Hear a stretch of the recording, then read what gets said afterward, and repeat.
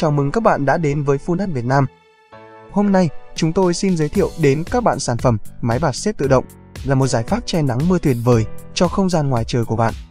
Máy bạt xếp tự động là hệ thống mái che di động tích hợp động cơ điện, được điều khiển từ xa bằng remote hoặc smartphone, với khả năng thu gọn và mở rộng linh hoạt chỉ với một nút bấm. Khung bạt được làm từ hợp kim nhôm hoặc thép không gỉ, đảm bảo độ bền và khả năng chịu lực tốt. Thiết kế khung có thể tùy chỉnh theo nhu cầu sử dụng, diện tích lắp đặt với nhiều kiểu dáng rất đa dạng cho bạn lựa chọn. Vải bạt được làm từ vải PVC cao cấp, có khả năng chống thấm nước, chống tia UV và bền màu. Vải bạt có rất nhiều màu sắc, hoa văn khác nhau, giúp người tiêu dùng có thể lựa chọn theo sở thích và phong cách cá nhân.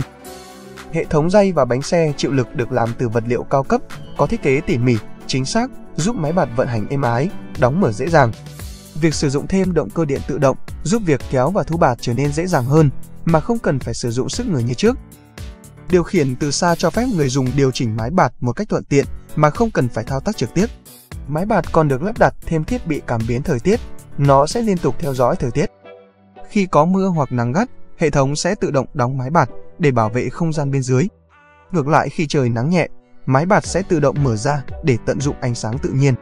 Đây là giải pháp che nắng mưa hoàn hảo cho các không gian ngoài trời, mang lại sự tiện nghi cho người sử dụng và tăng tính thẩm mỹ cho công trình của bạn.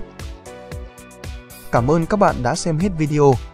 Nếu có nhu cầu hoặc cần hỗ trợ, các bạn có thể liên hệ qua hotline 0705 702 708 hoặc truy cập vào website funat.vn để được tư vấn chi tiết kỹ hơn về sản phẩm. Xin cảm ơn.